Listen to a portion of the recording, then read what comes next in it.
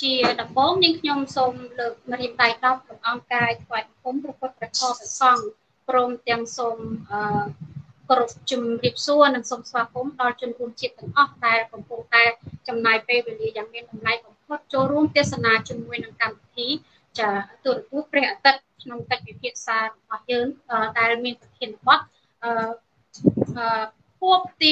24ឆ្នាំនៃវិរៈ ពលករវិរៈកម្មកររបស់យើង បានពលីជីវិតចាការពលីជីវិតនេះយើងមើលឃើញភាពសំខាន់អ្វីដែលខ្ញុំនិយាយទៅហើយវាក្តុកក្តួលបទចម្រៀងកម្រំដែលខ្ញុំដាក់អារម្មណ៍ច្រៀងបានវាមិនព្រោះទេក៏ប៉ុន្តែខ្ញុំអាចធ្វើទៅបានហើយចប់មកបទហ្នឹងទាំងទាំងក្តុកក្តួលទាំងវេទនាដោយសារតែខ្ញុំនៅក្នុងអារម្មណ៍របស់ខ្ញុំខ្ញុំគិតថាអ្នកគ្រប់គ្នាអ្នកទូទាំងប្រទេសអ្នកមានកូនជាទីស្រឡាញ់របស់អ្នកគ្រប់គ្រប់គ្នាអ្នកចេះស្រឡាញ់កូនរបស់អ្នកគ្រប់គ្រប់គ្នា ខ្ញុំក៏ចេះស្រឡាញ់កូនខ្ញុំគេក៏ចេះស្រឡាញ់កូនគេហើយក៏ប៉ុន្តែវិរៈបតកោទាំងអស់នោះពួកគាត់គឺស្រឡាញ់ជាតិនិងទឹកដីពួកគាត់គ្រាន់តែចង់រស់ក្រុមសង្គមសន្តិភាពឆ្អាតឈាមមួយនេះតើហេតុអីបានជារស់មិនបានគ្រាន់តែគាត់សុំរស់សុំប្រាក់ខែរស់ឲ្យមានសភាពថ្លៃថ្នូរក្នុងសង្គមសន្តិភាពចុកឈាមសន្តិភាពឆ្អាតឈាមនេះ ហេតុអីបានជាព្យាបាលដល់ជីវិតរបស់គាត់ហើយទាំងខ្លួនគាត់នៅលើដៃគាត់អត់មានអ្វីក្រៅពីសុំអង្វរឲ្យតម្លើងប្រាក់ខែគ្រាន់តែសុំរស់តែប៉ុណ្ណោះហើយគាត់ជាពលករគាត់គឺជាយុវជនយើងអាចនិយាយបានគាត់ថាគាត់អាចនឹងស្នងជាតិដែលការពារជាតិបន្ទាប់ពីអ្នកឯងទាំងអស់គ្នាដែលប្រាថ្នាជីវិតពួកគាត់ដែលខ្ញុំច្រៀងទាំងឈឺចាប់ថ្ងៃនេះខ្ញុំមានអារម្មណ៍មួយថា ពេលដែលខ្ញុំស្ដាប់បទចម្រៀងនេះហើយខ្ញុំនឹកឃើញដល់ទស្សនវិជ្ជាដែលខ្ញុំកំពុងតែច្រៀងហើយអានអសរនឹងហើយពីដល់និយាយដល់ចំណុចហ្នឹងខ្ញុំសូមអរគុណដល់ស្នាដៃនិពន្ធរបស់អ្នកកវីដែលមានឈ្មោះថាតោថ្មិញបាក់ចាសូមប្រកាសដល់ឈ្មោះគាត់ផងថាឈ្មោះតោថ្មិញបាក់គាត់គឺជារហស្សនាមរបស់គាត់ គាត់បានបង្ហាញថ្មីដៃមកយ៉ាងលងលោធ្វើឲ្យខ្ញុំស្ទើរតែច្រៀងបទនឹងមិនចប់មកគាត់ដូច្នេះខ្ញុំដើម្បីកុំឲ្យខាតពេលយូរខ្ញុំសូមរៀបរាប់នៅអ្វីដែលកញ្ញាបានសួរថាភាពឈឺចាប់របស់ខ្ញុំនៅក្នុងពេលនេះខ្ញុំមានអារម្មណ៍ថាពួកអាណិតពលរដ្ឋខ្មែរយុវជនខ្មែរវីរៈកម្មករខ្មែរដែលគាត់គ្រាន់តែចង់សម្រួលឲ្យថ្លៃថ្នូរក្រោមការគ្រប់គ្រងរបស់មនុស្សដែលដែលដណ្ដើមអំណាចមកគ្រប់គ្រង អ្នកដណ្ដើមអំណាចមកបានហើយនៅក្នុងដៃហើយគ្រប់គ្រងហើយហេតុអីបានមិនគ្រប់គ្រងហេតុអីបានបំផ្លាញហើយដល់ពេលអ្នកពលរដ្ឋស្រឡាញ់គណៈបកសង្គ្រោះជាតិស្រឡាញ់លោកសំរៀងស៊ីលោកកឹមសុខានអ្នកចំណែនផ្ដំទាឈ្នាននេះបំផ្លាញហើយរំលាយបកគេចោលទៀតហេតុអីបានជាអ្នកឯងខោខើយំខ្នងម្លេះហេតុអីថ្លើមរបស់អ្នកឯងថ្លើមម្លេះថ្លើមរបស់អ្នកឯងខ្មៅម្លេះ បេះដូងអ្នកឯងធ្វើមកអំពីអ្វីបានជាអ្នកឯងមើលស្រាលជីវិតរបស់មនុស្សម្លេះខ្ញុំដូចជាឆ្ងល់ណាស់ខ្ញុំឃើញថាអ្នកឯងមើលទៅរូបរាងខាងក្រៅរបស់អ្នកឯងគឺជាមនុស្សដូចជាខ្ញុំអញ្ចឹងក៏ប៉ុន្តែខ្ញុំមិននឹកស្មានថាចិត្តរបស់អ្នកឯងខ្មៅក៏ខ្វក់នៅក្នុងនៅក្នុងបេះដូងរបស់អ្នកឯងបង្កទៅដោយខ្ទុកឈាមហើយនឹងភក់ច្រំដែលមានតកៅចាក់រុកនៅក្នុងបេះដូងរបស់អ្នកឯង ខ្ញុំមិនចង់និយាយឲ្យមានការឈឺចាប់របៀបទីទីប៉ុន្តែរឹតតែនិយាយរឹតតែមានការឈឺចាប់រឹតតែមានការសោកស្ដាយដល់ដំណក់ឈាមរបស់ខ្ញុំកូនខ្មែរទាំងអស់បានស្លាប់យ៉ាងវេទនាស្លាប់ទាំងគ្មានកំហុសគ្រាន់តែចង់រស់ក៏បំផ្លាញជីវិតគាត់ដែរមិនត្រឹមតែប៉ុណ្ណោះសោកនេតកម្មមួយនេះធ្វើឲ្យមនុស្សចងចាំអស់មួយជីវិតគ្រប់គ្រប់គ្នាការស្លាប់របស់ពួកគាត់ទាំងនៅក្មេងខ្ចី ទាំងមានអនាគតដល់ថ្ងៃអនាគតដែលអាចគ្រប់គ្រងនិងមើលថែប្រទេសបានធ្វើឲ្យគាត់ស្លាប់ទាំងវេទនាបែកប្រមាថបែកឈាមឆ្អឹងសាច់បែកខ្ទេចខ្ទីខ្ទេចទៅលើដើមឈើក៏មានខ្ទេចទៅលើដីទីទីស្មៅក៏មានដាច់ក្បាលក៏មានធ្លាយពោះវៀនក៏មានកូនបើកដោះម្ដាយទាំងម្ដាយស្លាប់បាត់អត់ដឹងថាម្ដាយកំពុងតែស្លាប់ទេកូនស្មានតែម្ដាយដេកលក់ ខ្ញុំមានអារម្មណ៍រំភើបហើយឈឺចាប់ជាទីបំផុតនៅពេលដែលគេសាងសង់និតកម្មទៅដល់បរដ្ឋរបស់ខ្ញុំកូនខ្មែររបស់ខ្ញុំហើយក្នុងនោះនៅក្នុងបេះដូងខ្ញុំគឺជាខ្មែរហើយកូនខ្មែរស្លាប់នៅនឹងភ្នែកស្រស់ស្រស់នៅក្នុងសង្គមដែលខ្ញុំមិនទាន់ក្បាច់ភ្នែកផងខ្ញុំបើឃើញទាំងអស់កោតែបេះដូងលោកហ៊ុនសែននិងក្រុមបកពួកលោកមកគ្រប់គ្រងប្រទេសនេះអ្នកឯងបានធ្វើជាបិសាចគ្រប់គ្រងនៅពិភពនេះធ្វើឲ្យពិភពនេះខ្មៅងងឹត បង្កតែសោកនាដកម្មចូលចិត្តតែខ្លាំងឆ្អាបឈាមចូលចិត្តបៀងឈាមព្រោះឲ្យអ្នកដតីចូលចិត្តប្រមាថជីវិតអ្នកដតីមិនឲ្យតម្លៃជីវិតមនុស្សដូចគ្នាដែលនិយាយភាសាដូចគ្នាសោះតែអ្នកឯងមើលថែនឹងថ្នមថ្នាក់ជនជាតិបរទេសយួនគេឲ្យមកមើលពលរដ្ឋគេគឺមើលពលរដ្ឋគេឲ្យដីគេសាងសង់ផ្ទះឲ្យគេរៀបចំប្រព័ន្ធទឹកស្អាតឲ្យគេហើយរៀបចំរចនាសម្ព័ន្ធគ្រប់បែបយ៉ាងទៅឲ្យគេខ្ញុំមានអារម្មណ៍ថានៅតែនឹកមិនអស់ចម្ងល់សោះថាហ៊ុនសែនគឺជាអ្នកណាក្រៅពីខ្ញុំគិតថាហ៊ុនសែនមិនមែនខ្មែរខ្ញុំគិតថាហ៊ុនសែនគឺជាបិសាចគឺជាមេឃាតករមួយដែលកូនខ្មែរនឹងចងចាំអស់មួយជីវិតគ្រប់គ្រប់ចំនួនថ្ងៃអនាគតរបស់ហ៊ុនសែនគឺហ៊ុនសែនហ៊ុនសែនស្លាប់ដោយសារតែកូនខ្មែរដាក់គំនាយនិងដាក់បដាសាហើយស្ដោះទឹកភ្នែកស្រក់ទឹកភ្នែកហូរដាប់ផែនដីខ្មែរហើយនឹងស្ដោះទឹកមាត់ដាក់លោកហ៊ុនសែនកិត្តិយ សរបស់លោកហ៊ុនសែនមុននឹងស្លាប់ទៅលោកហ៊ុនសែនបើកតិចឲ្យចំហឲ្យធំធំហើយស្ដាប់ការមើលអឺមើលស្រារបស់លោកឯងទៅលើពលរដ្ឋខ្មែរហើយស្ដាប់ការដាក់បណ្ដាសារបស់លោកឯងដោយរៀងរាល់ថ្ងៃខ្ញុំអត់ដែលឃើញទេមិនដែលឃើញតាំងពីដើមមករហូតឥឡូវមិនដែលឃើញកម្មវិធីដែលគេបើកឡើងអឺ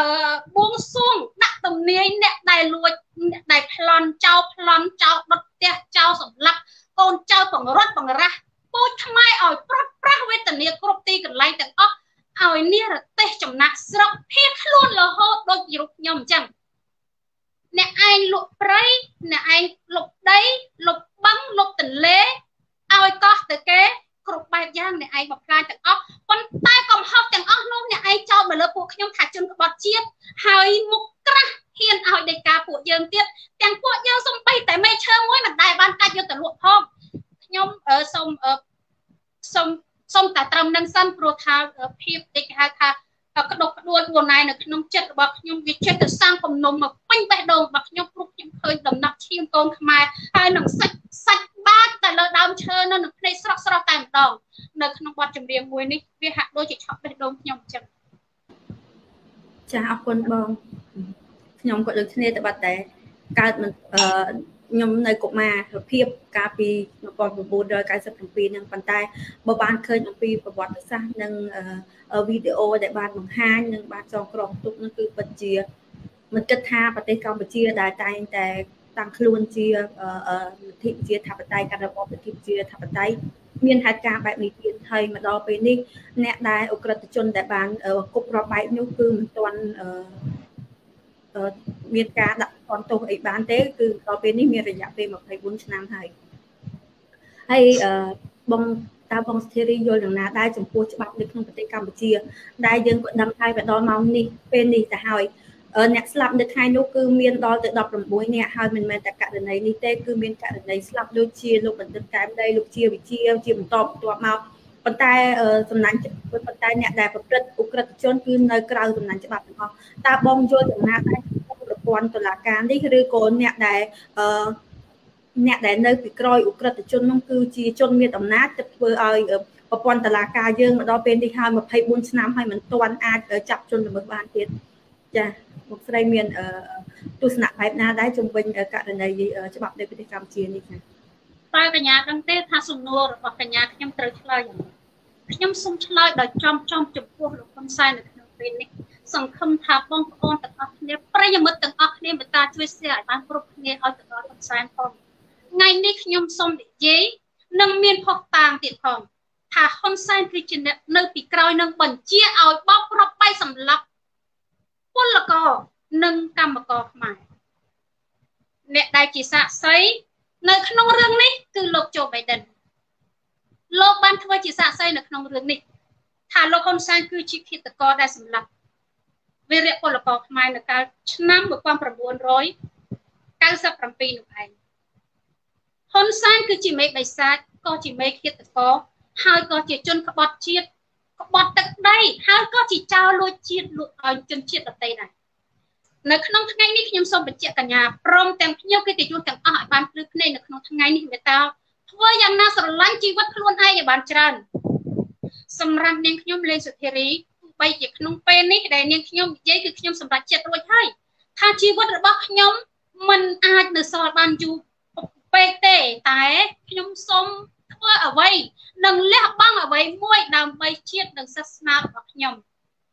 ដំណាក់ឈាមរបស់ខ្ញុំរាប់លានអ្នកនៅក្នុងប្រទេសកម្ពុជាត្រូវតែរស់នៅក្នុងប្រទេសកម្ពុជាត្រូវតែជាម្ចាស់ទឹកដីចាប់ពីថ្ងៃនេះតទៅសូមអង្វរបងប្អូន មេត្តាថែរក្សាជីវិតរបស់ខ្លួនឯងតាមរយៈគេសម្លាប់យើងយកវ៉ាក់សាំងមកសម្លាប់យើងទី1ហ៊ុនសែនបានខុបខិតជាមួយនឹងជនបរទេសមកសម្លាប់ខ្មែរតាមរយៈក5ដែលនាំខ្មែរឲ្យទៅជន់មីនចាដើម្បីដោះមីនយកជីវិតមនុស្សទៅដោះមីនមិនមែនយកគ្រឿងដែលទៅស្រោបដោះមីនទេដោយសម័យថ្មីអន្តៈទេ គឺចំនួននោះគឺគេមានបំណងបំផ្លាញជីវិតខ្មែរឲ្យអស់ហើយគេចង់បានជីវិតប្រទេសរបស់យើងមកច្រើនសតវត្សណាស់មកហើយក៏ប៉ុន្តែគេបន្តគ្រប់សម័យកាលរបស់គេចង់បានប្រទេសយើងជនបរទេសយួនហើយនឹងចិនគឺជាជនដែលឈ្លានពានចង់បានប្រទេសយើងគេចិញ្ចឹមចិត្តមកយូរហើយគ្រប់ជាតិសាសន៍របស់គេកើតមកភ្លាមគេបដៅជនជាតិគេឲ្យខ្លាចជាចោលត្រូវតែយកប្រទេសកម្ពុជាឲ្យបាន គេគឺជាចោលគឺគេព្យាយាមទោះបីស្លាប់ប្រមាណដំណរក៏ដោយ គឺគេចង់បានប្រទេសយើងចុះយើងគឺជាខ្មែរនេះគឺជាម្ចាស់ប្រទេសសូមកូនខ្មែរនិងកូនល្បុតខ្មែរយុវជនខ្មែរទាំងអស់ត្រូវដឹងថាលោកអ្នកនិងកូនក្មួយទាំងអស់គ្នា គឺជាម្ចាស់ប្រទេសដ៏ថ្លៃថ្នូរមិនមែនចោលទេ យើងមានសិទ្ធិចាប់ចោលយើងមានសិទ្ធិបណ្ដេញចោលនិងមានសិទ្ធិគ្រប់បែបយ៉ាង ដាក់ទណ្ឌកម្មទៅលើចោលចឹងក្នុងពេលនេះខ្ញុំប្រាប់ហើយថាឃាតករគឺជាអ្នកណាសម្លាប់មនុស្សហើយសោយសុខនៅប្រទេសរបស់យើងលួចជាតិយកទៅលក់លួចទ្រព្យសម្បត្តិដែលសល់ពីបពៈបរោះពីចំនួនបុរាណមកទុកចិញ្ចឹមខ្មែរគ្រប់គ្រប់ចំនួនរស់បានយ៉ាងស្រួលហើយយ៉ាងថ្លៃថ្នូរស្គាល់ពាក្យថាអច្ឆរិយៈនិងមហានគរទេ ហ៊ុនសែនបានបំផ្លាញឈ្មោះនេះនឹងកិត្តិយសមួយនេះចោលតាមរយៈបំផ្លាញលុកតិចទីដើម្បីតែអំណាចរបស់ខ្លួនការពារតែសេចក្តីសុខសន្តិភាពគ្រួសាររបស់ខ្លួនឯង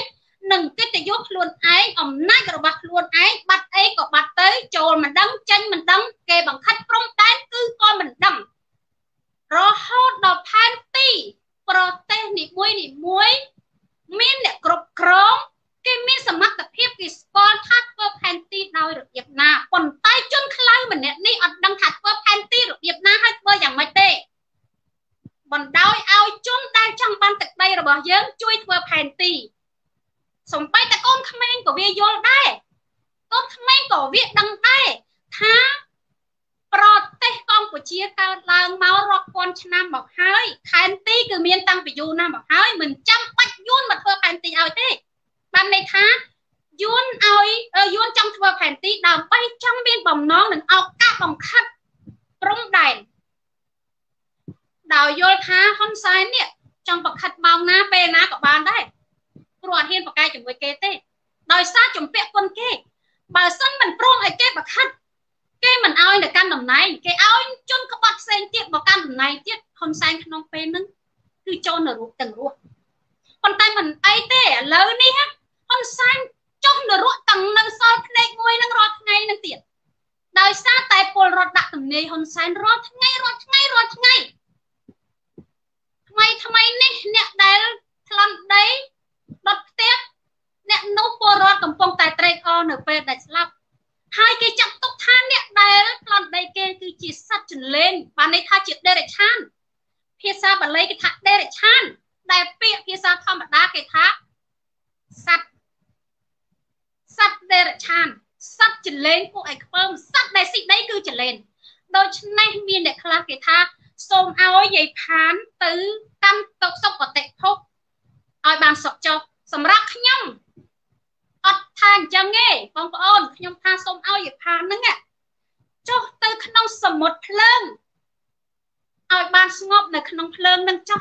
ព្រោះព្រោះអីភ្លើងចិត្តរបស់ពលរដ្ឋទូទាំងប្រទេសរាប់លានអ្នក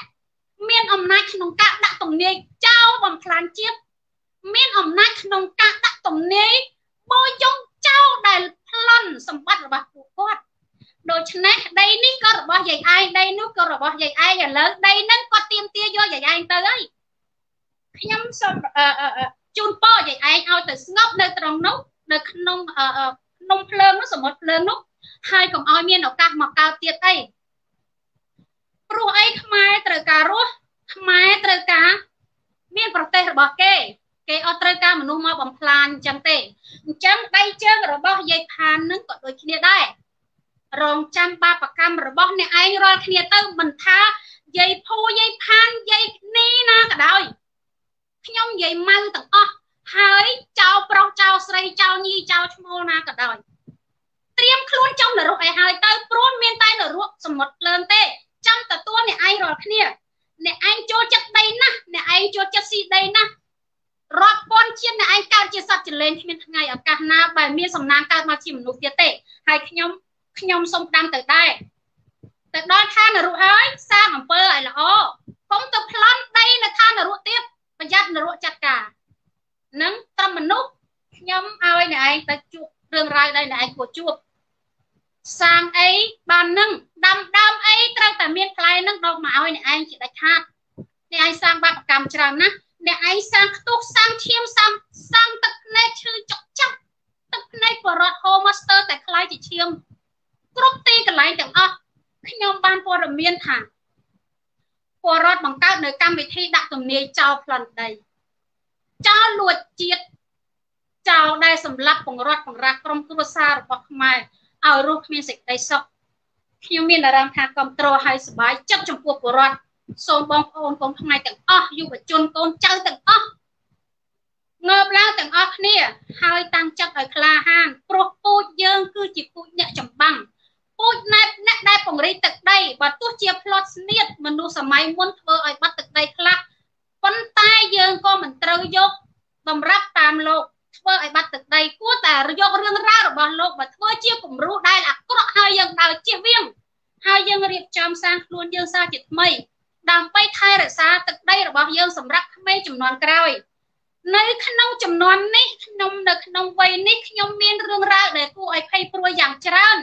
រហូតដែលខ្ញុំលែងខ្វល់ខ្វាយជាមួយជីវិតរបស់ខ្លួនឯងខ្ញុំគិតថាការតស៊ូអឺតស៊ូមតិដើម្បីជាតិនិងទឹកដីគឺដើម្បីទុកឲ្យក្មេងៗនិងយុវជនចំនួនក្រោយជាអ្នកទទួលមើលថែជំនួសខ្ញុំព្រោះខ្ញុំពេលដែលខ្ញុំ តស៊ូមតិបានសម្រេចហើយខ្ញុំគឺចាស់ហើយខ្ញុំទុកឲ្យបងប្អូននិងយុវយុវជនទាំងអស់មើលថែទឹកដីនិងប្រទេសយើងបន្តទៀតខ្ញុំចង់និយាយអំពីផលប្រយោជន៍នៅប្រទេសរបស់យើងដែលប្រទេសរបស់យើងគឺមានអ្វីអ្វីគ្រប់បែបយ៉ាងដែលពិភពលោកនេះមិនមានប្រទេសរបស់យើងមានមាសដុះជាភ្នំក៏ប៉ុន្តែមានអ្នកដែលគ្រប់គ្រងខាត់លាក់អញ្ជើខ្លួនមិនចេះគ្រប់គ្រងថែរក្សា ប្រគល់ឲ្យជនជាតិ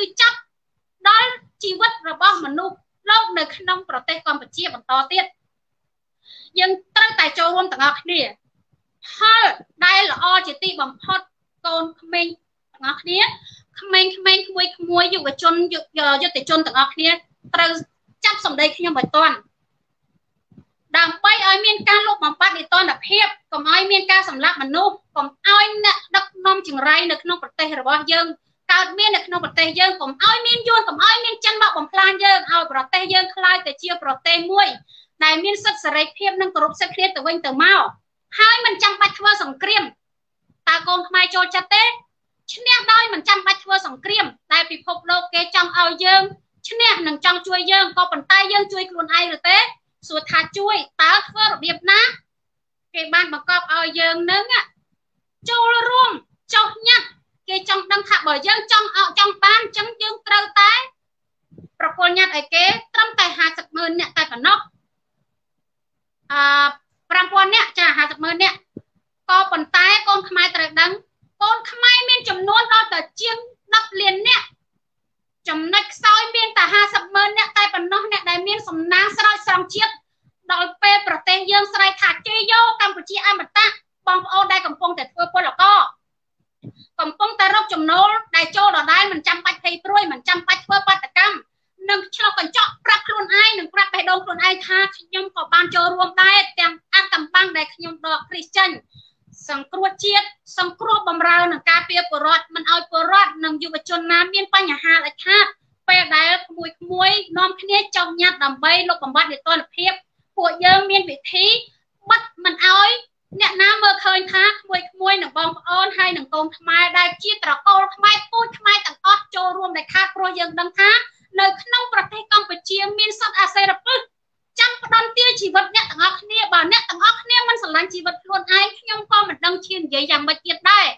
ព្រោះខ្ញុំហ៊ានលះបង់គ្រប់យ៉ាងខ្ញុំត្រូវការជីវិត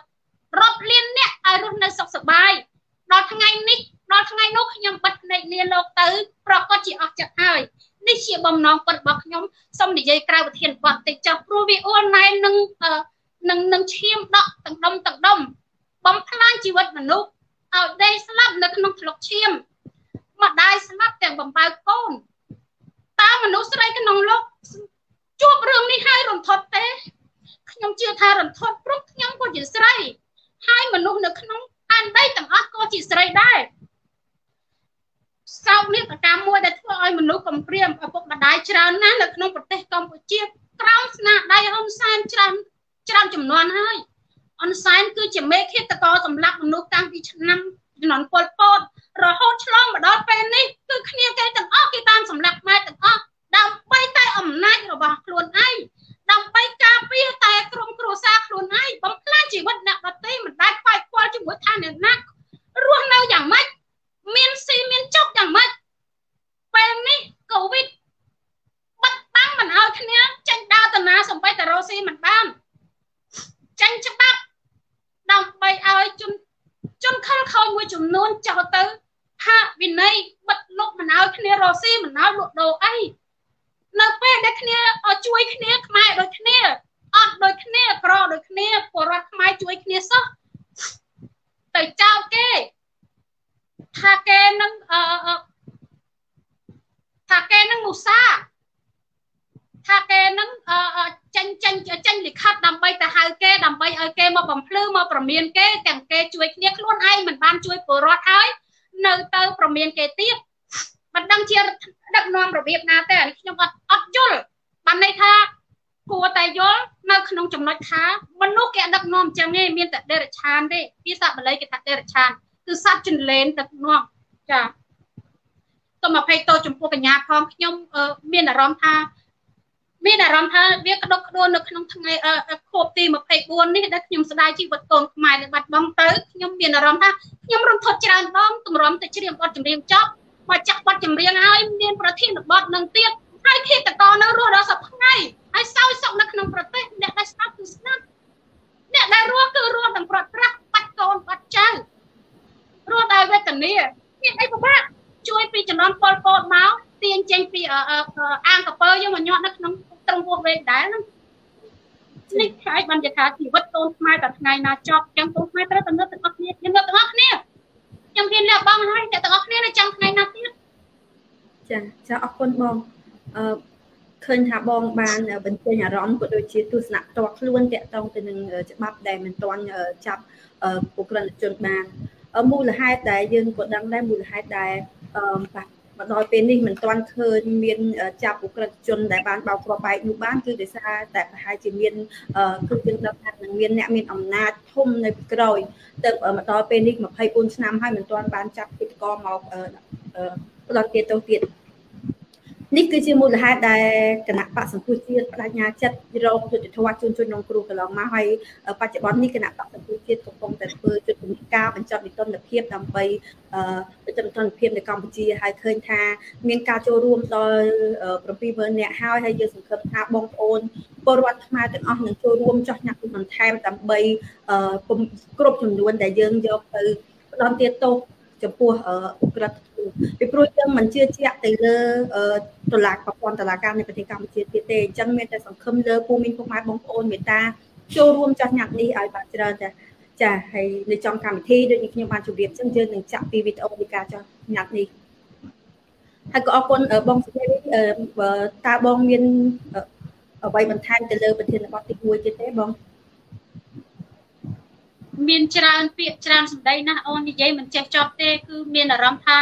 វាជាពាក្យសម្ដីរបស់បងតែម្នាក់និយាយជំនួសមនុស្សរាប់លានអ្នកដែលចង់និយាយគ្រាន់តែសម័យនេះសង្គមនេះគឺជាសង្គមដែលគេដេមាត់បិទភ្នែកញាត់តិចពលរដ្ឋយើងមិនឲ្យមានសិទ្ធិនិយាយកើតមកមានភ្នែកភ្លឺភ្លឺតែមិនអាចមើលឃើញហើយថាឃើញ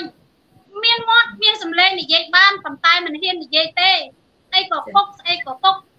មានតែជាស្ដាប់បានហើយមិនខ្លងទេ គេមិនឲ្យលឺទៀតស្ដាប់អត់បានទេព័ត៌មានដែលយើងនិយាយនេះស្ដាប់អត់បានទេស៊ីចាប់ចាអរគុណចាចាអរគុណបងឥឡូវនេះប្រធានបទទី1គឺយើងបញ្ចប់ត្រឹមប៉ុណ្ណេះហើយចូលទៅដល់ប្រធានបទទី2គឺវិបត្តិសេដ្ឋកិច្ចវិបត្តិ COVID-19 នៅប្រទេសកម្ពុជាយើងឃើញថាថ្មីថ្មីនេះប្រទេសកម្ពុជាយើងគឺហាក់មានសន្ទុះខ្លាំងចំពោះជំងឺ COVID-19 នេះហើយភាគច្រើនកើតទៅលើអ្នកល្បីល្បីហើយក៏ដូចជាសមត្ថកិច្ចតែទោះជាយ៉ាងណាក៏ដោយខ្ញុំសង្ឃឹមថាបងប្អូនប្រជាពលរដ្ឋក្នុងប្រទេសកម្ពុជានឹងរក្សាអនាម័យរក្សាខ្លួនប្រាណនិងជាឆ្ងាយពីជំងឺ Covid-19 ទាំងអស់គ្នាប៉ុន្តែនៅថ្ងៃនេះផងដែរខ្ញុំបានឃើញព័ត៌មានមួយនៅខេត្តត្បូងឃ្មុំដែលថាឃើញមានអៃកឧត្តមលោកនេតសវឿនហ្នឹងចាស់គឺឃើញឧបត្ថម្ភថវិកាទៅដល់សមត្ថកិច្ច ដែលការជំងឺ Covid-19 ហ្នឹងគឺចំនួនម្នាក់1លានចាម្នាក់1លានវាដែលការជំងឺ Covid-19 នៅខេត្តត្បូងឃ្មុំហើយឃើញតែពលរដ្ឋធម្មតាដែលកំពុងតែធ្វើចែកចតាលេស័កគឺមានចែកជាអង្គហើយនឹងពីរយើងឃើញថាការអនុវត្តនេះវាហាក់បីដូចជាចែកតំណាក់ហាក់បីដូចជាវាមាន ចែកទី2ចាចែកជាពីរដាច់គ្នាយើងឃើញថាសមត្ថកិច្ចទៅដល់ឧបត្ថម្ភថវិកាដល់រៀនរៀលតែប្រជាពលរដ្ឋឃើញតែមានមីហើយនឹងកវាគឺជាការអនុវត្តមួយដែលមិនស្មើភាពគ្នាពីព្រោះពួកគាត់ទោះបីជាការងារពួកគាត់មិនស្មើគ្នាប៉ុន្តែជីវិតពួកគាត់មានដូចគ្នាហើយគាត់កំពុងតែព្យាបាលជំងឺ Covid-19 ដូចគ្នាតើបងយល់យ៉ាងណាដែរចំពោះការអនុវត្តពីអនុវត្តខុសគ្នារវាងពលរដ្ឋនិងសមាជិកនេះបង វាគឺជាភាពអយុត្តិធម៌មួយដែលយើងឃើញថាទឹកកន្លងមកខ្ញុំនិយាយដដែលដដែលភាពអយុត្តិធម៌របស់ហ៊ុនសែនធ្វើមកលើពលរដ្ឋខ្មែរគឺហ៊ុនសែននៅតែបន្តធ្វើមិនរៀងចាលហើយក៏មិនចេះអាណិតពលរដ្ឋដែរបើទោះជាសប្ថ្ងៃនេះលក់ជាតិសប្បាយសពយ៉ាងយកមកបំពេញបំពន់ពូជដំបូលក្រុមគ្រួសារមានដល់ភ្លូដបូលទៀតក៏ដោយក៏ហ៊ុនសែនមិនដែលចេះឆ្អែតឆ្អន់និងចេះអាណិតដល់ពលរដ្ឋ ដែលគាត់រងកច្រកឆ្នាំគ្មានដែរទី1រឿងដែលពិសេសជាងនេះទៅទៀតទី2គឺរឿងដែលកូវីដដែលគេរៀបចំនេះគឺជាកូវីដនយោបាយទេបងអូនស្រីលោកលោកស្រីនាងកញ្ញាទាំងអស់ដែលជាប្រិយមិត្តរបស់ទូរទស្សន៍ព្រះអាទិត្យសូមមេត្តាជួយ share ឲ្យនាងខ្ញុំផងនាងខ្ញុំចង់បកស្បែកមុខរបស់លោកហ៊ុនសែនឲ្យបានច្បាស់នៅក្នុងថ្ងៃនេះជូនដល់ប្រជាខ្មែរនិងលោកលោកស្រីទាំងអស់ ឲ្យបានដឹងថានៅពីក្រោយកូវីដនេះ គឺជារឿងដែលហ៊ុនសែនបាត់បង់ EBA ហើយត្រៀមខ្លួនបង្កើតទីផ្សារលើក្នុងពលរដ្ឋតាមរយៈចាក់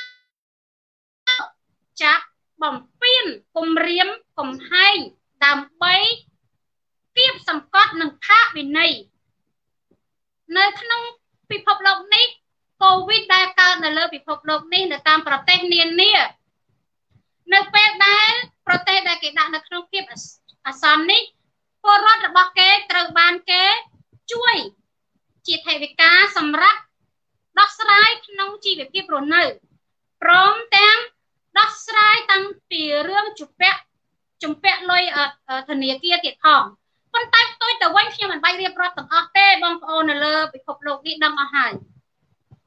អ្វីដែលខ្ញុំចង់និយាយក្នុងពេលនេះហ៊ុនសែនតែងតែដើរប្រច្រាស់ជើងជានិច្ចគឺគាត់មិនមែនយកលុយទៅជួយពលរដ្ឋទេគឺគាត់បង្កើតនៅផែនការផាកវិន័យ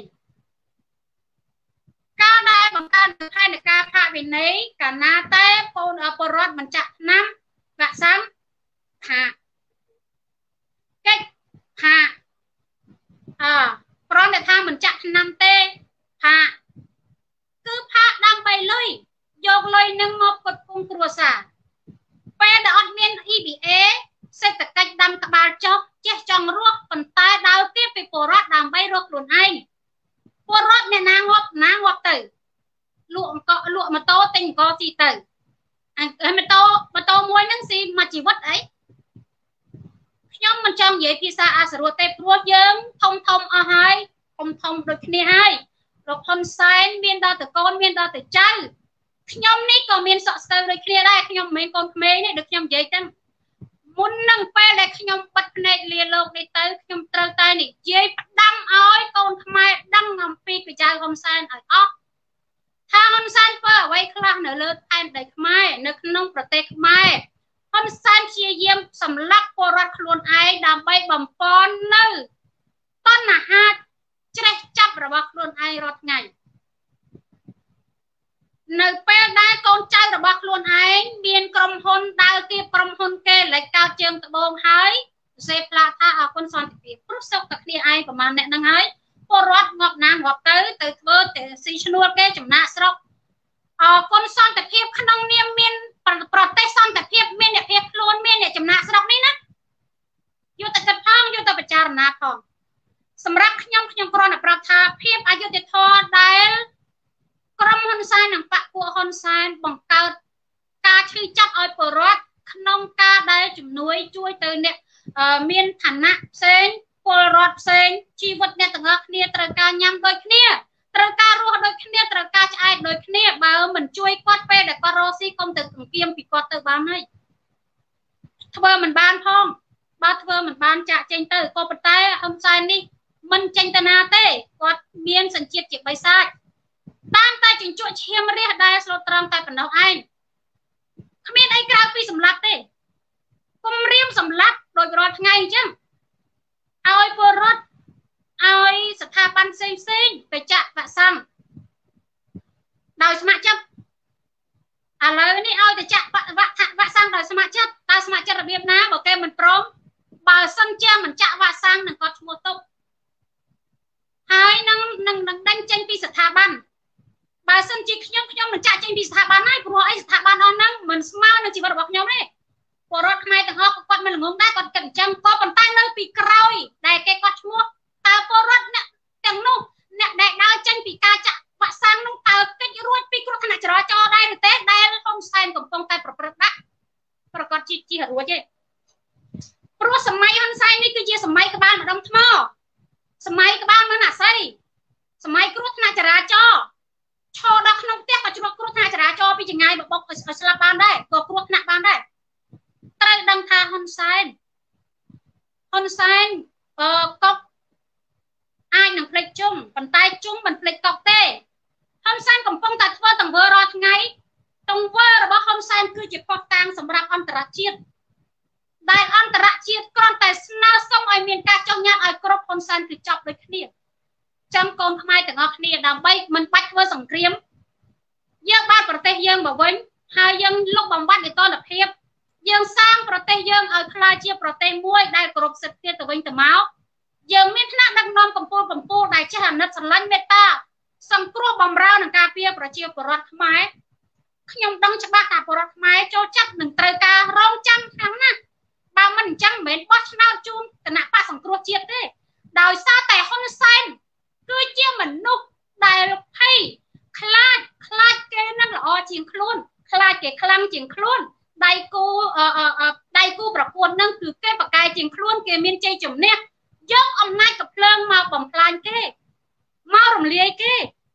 ប៉ុន្តែបេះដូងរបស់ពលរដ្ឋមិនដែលរលាយទៅណាទេទោះបីពួកគាត់ស្លាប់នៅក្នុងផ្លុកឈាមប៉ុណ្ណាក៏ដោយ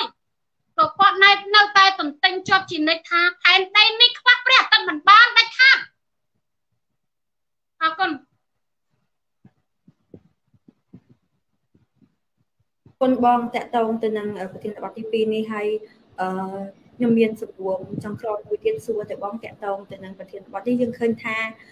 លោកហ៊ុនសែនមួយថ្ងៃមួយថ្ងៃទទូចឲ្យប្រជាពលរដ្ឋហ្នឹងរក្សាសុខភាពនៅផ្ទះកុំចេញក្រៅរក្សាកម្រិតសង្គមដោយប្រើយុទ្ធសាស្ត្រ3កង់3ការពារដែលយើងឃើញកន្លងមកហើយហើយប្រជាពលរដ្ឋតើអាចអនុវត្ត3កង់3ការពារនឹងបានទេបើប្រជាពលរដ្ឋបានសមលោកហ៊ុនសែន4ករណីដូចដែលយើងបានឃើញគឺសមឲ្យមាន ជួយអន្តរាគមឲ្យតម្លៃប្រេងសាំងហ្នឹងចុះក្រមតម្លៃ3000រៀលហើយចោះជួយចោះទឹកទឹកភ្លើងហើយជួយចោះបន្ទប់ជួយពាក់កណ្ដាលក្នុងចន្លោះពេល3ខែហើយមួយទៀតនោះគឺសូមឲ្យពន្យាពីការបងប្រាក់ទៅធនាគារនិងវិក្រហិរញ្ញវត្ថុនៅពេលដែលយុវជនក្រមនឹងដាក់ញត្តិទៅគឺឃើញមានថាខ្វាត់ខ្លួនយុវជនមិនឲ្យយុវជននឹងបន្តទៅទៀតទេខ្វាត់ខ្លួនពួកគាត់ ឲ្យពួកគាត់ធ្វើកិច្ចសន្យាដោយលោលេសថា COVID-19 ហើយយើងឃើញថាមិនត្រឹមតែយុវជនទាំងអស់នេះទេតែមានប្រជាពលរដ្ឋជាច្រើនហើយក៏ឃើញសិល្បករសិល្បករនីជាច្រើនដែរដែលបានចេញវីដេអូអំពីវិនិយោគសំទាក់ទងទៅនឹងធនាគារនិង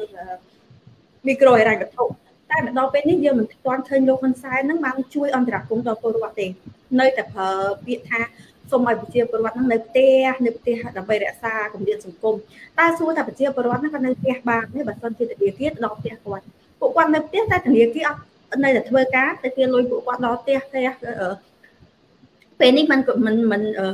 របបមិនទាន់មានឃើញរបបផ្ទះហើយប៉ុន្តែយើងឃើញដឹងហើយយុទ្ធសាស្ត្រធនាគារគឺគេទៅទាលុយព្យាយាមបញ្ចុះបញ្ចូលគាត់ដែលដូចដែលវីដេអូយើងបានឃើញកន្លងមកបញ្ចុះបញ្ចូលគាត់ឲ្យគាត់យក ម៉ូតូយកអីទៅបញ្ចាំដើម្បីបង់ទៅធនាគារអានេះក៏ជាបញ្ហាមួយដែរតែក្នុងនេះបងជា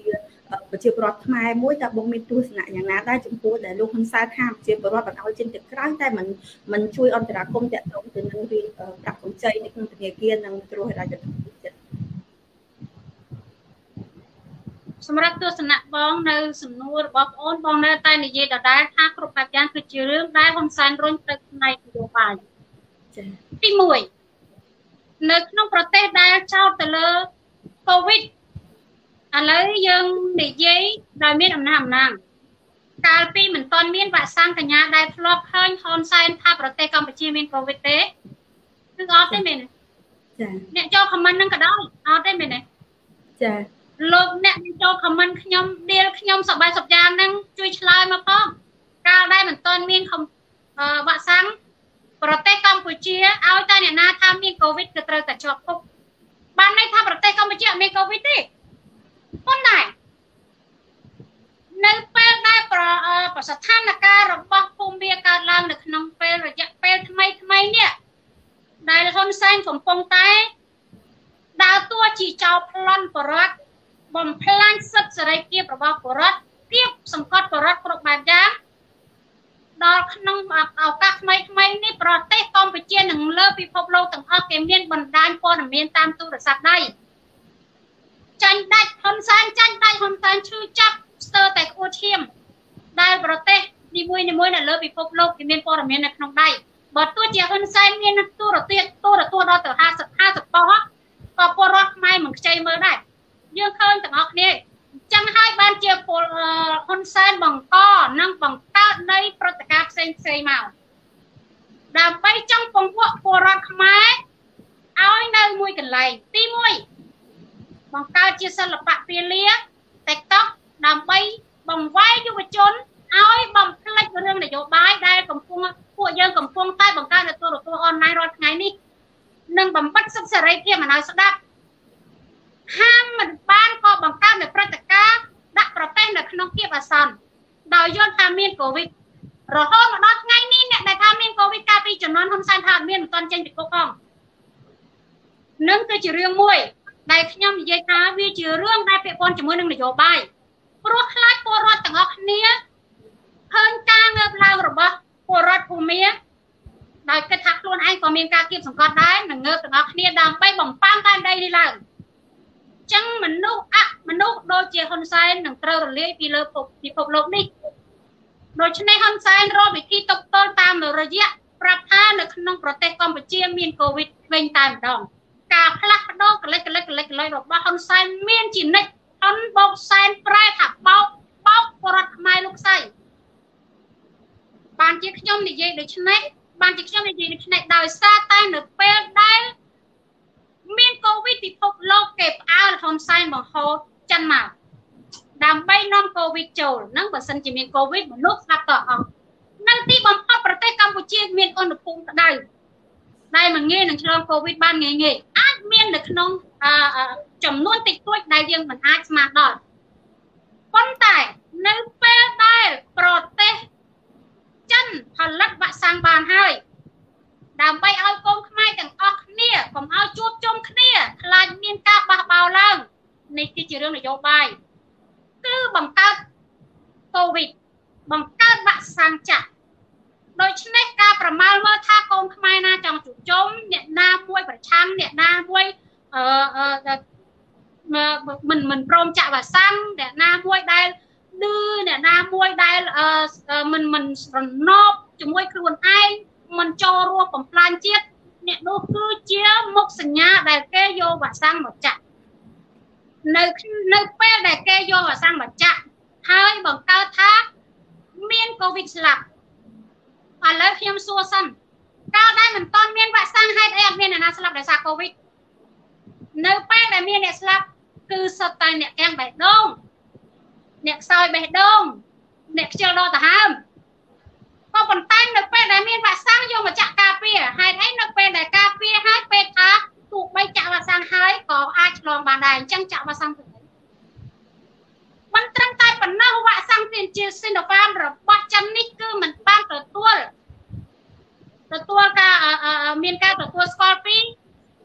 អឺសុខាភិបាលអន្តរជាតិទេតែហ៊ុនសែនហ៊ានយកមកព្រោះដោយសារតែហ៊ុនសែននេះ រុញព្រឹត្តិការណ៍ទាំងឡាយនេះទៅលើ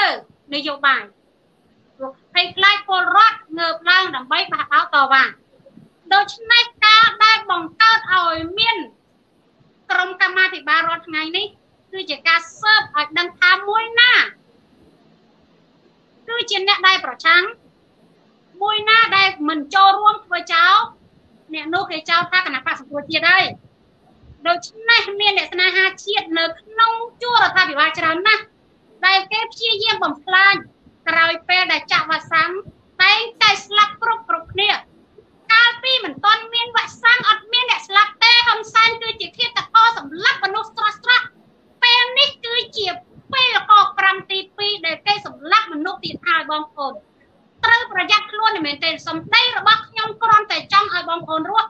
តែបងប្អូនគិតថាខ្ញុំខុសបងប្អូនទៅចាក់វ៉ាក់សាំងនឹងទៀតទៅពិសេសអ្នកដែលចាញ់ចោលខ្ញុំនៅក្នុងខមមិននេះតែម្ដងតែចាក់ទៀតចោះមិនអីទេខ្ញុំមិនហាមទេបើអ្នកមិនចេះស្រឡាញ់ជីវិតរបស់ខ្លួនឯងខ្ញុំស្រឡាញ់នឹងការពារតែអ្នកដែលស្រឡាញ់ជាតិខ្លួនឯងស្រឡាញ់ជីវិតខ្លួនឯងសំខាន់ជាងស្រឡាញ់ជីវិតខ្លួនឯងសិនបន្តិចទៀតយើងនឹងចូលទៅរួមរស់ជាមួយគ្នាថែរក្សាទឹកដីរបស់យើងដើម្បីយើងទាំងអស់គ្នាដែលមាន ដំណក់ឈាមជាខ្មែរដូចគ្នាយើងប្រើត្រកូលខ្មែរតែមួយចាចាអរគុណបងស្ធារីដែលបានបកស្រាយតាក់ទងទៅនឹងប្រធានបទទាំងពីរយ៉ាងក្បោះក្បាយហើយយើងក៏នឹងសង្ឃឹមថាបងប្អូនប្រជាពលរដ្ឋខ្មែរយើងនឹងទទួលបាន ការអន្តរាគមពីលោកហ៊ុនសែនទៅចោះពីព្រោះអីគឺគាត់ទទូចជាច្រើនដងជាច្រើនលើកមកហើយតាក់ទងទៅនឹងរឿងធនាគារនិងមីក្រូហិរញ្ញវត្ថុនេះដែលជាបញ្ហាដែលធ្វើឲ្យពួកគាត់មិនអាចនៅផ្ទះបានទេចាធម្មតាមនុស្សយើងជាពាក់បំណុលគេហើយត្រូវ ការបំពេញកាពះជារៀងរាល់ថ្ងៃទៀតអញ្ចឹងបើសិនជាគាត់មិនចេញទៅក្រៅគឺគាត់មិនអាចរកចំណូលមកបង់ធនាគារបានទេព្រោះធនាគារទោះបីយើងនៅនៅតែផ្ទះព្រោះធនាគារគេអត់ធ្វើការតែនៅកន្លែងនេះគេចេញពីលុយយើងនៅផ្ទះដូចគ្នាអញ្ចឹងពួកគាត់ត្រូវតែទុកចិត្តចាស់បើទោះបីជាកូវីដនឹងពិតឬក៏មិនពិតគឺគាត់ត្រូវតែបន្ថយជីវិតដើម្បីទៅរកប្រាក់ខាងក្រៅមកបង់ធនាគារដែរហើយដោយសារតែពេលវេលាយើងក៏បានចិត្តដល់ទីបញ្ចប់ តែមុនបញ្ចប់តើបងលីធារីមានអ្វីផ្ដាំផ្ញើទៅបងប្អូនជាពលរដ្ឋខ្មែរជាចុងក្រោយខ្ញខ្ញុំមានរាប់លានសម្ដីសម្រាប់ផ្ញើទៅបងប្អូនទាំងអស់គ្នាប៉ុន្តែខ្ញុំសូមសង្ខេបមួយខ្លីដោយសារតែពេលវេលាយើងបានមកដល់ហើយយើងមានពេលវេលាកំណត់សម្រាប់កម្មវិធីផ្សេងផ្សេងទៀតអញ្ចឹងសម្រាប់នាងខ្ញុំលេងសុធារីមិនមានអ្វីក្រៅពីរីដៃអស់លើកសំពះអង្វរនិងសូមសំណងពរដល់ក្រុមខ្មែរទាំងអស់ ការពារសុវត្ថិភាពខ្លួនឯងឲ្យបានល្អទោះបីមានឬក្រកុំឲ្យគិតខ្លីនិងបញ្ចប់ជីវិតខ្លួនឯងឲ្យសោះគួរតែគិតថា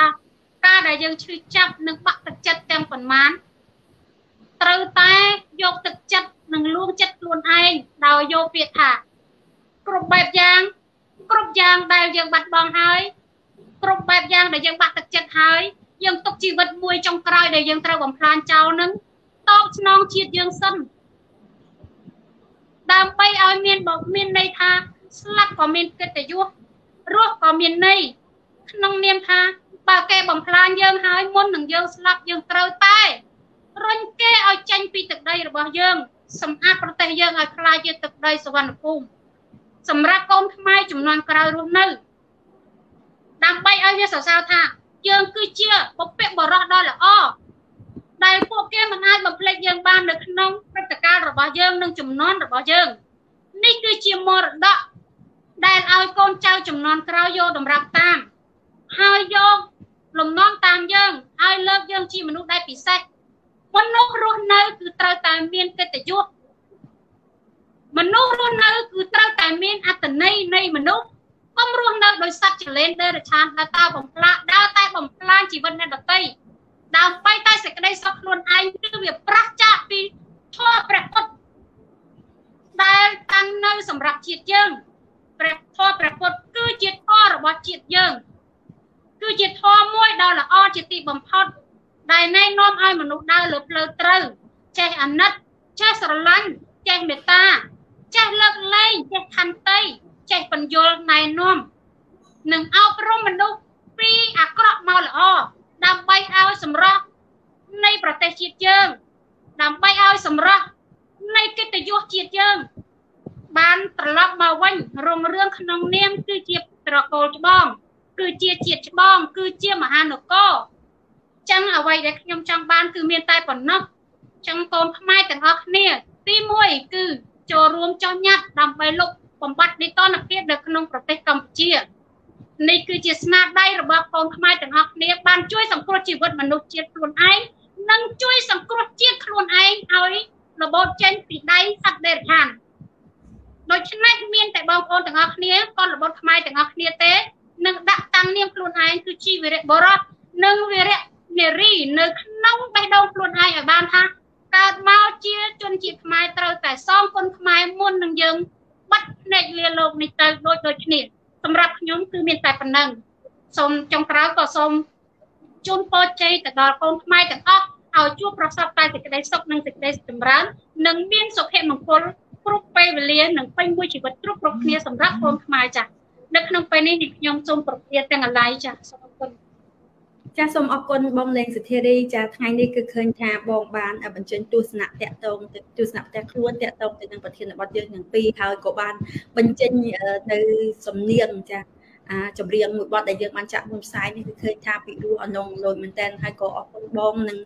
ជូនពរបងសូមឲ្យបងទទួលបានជោគជ័យនៅក្នុងការតស៊ូទាមទារឲ្យប្រទេសកម្ពុជាយើងមានលទ្ធិប្រជាធិបតេយ្យពិតប្រាកដនេះហើយជាពិសេសទៀតនេះសូមឲ្យបងមានសុខភាពល្អដែរសូមអរគុណបងទាំងគ្រប់គ្នាសាធុសាធុសាធុអរគុណអូនដូចគ្នាចា៎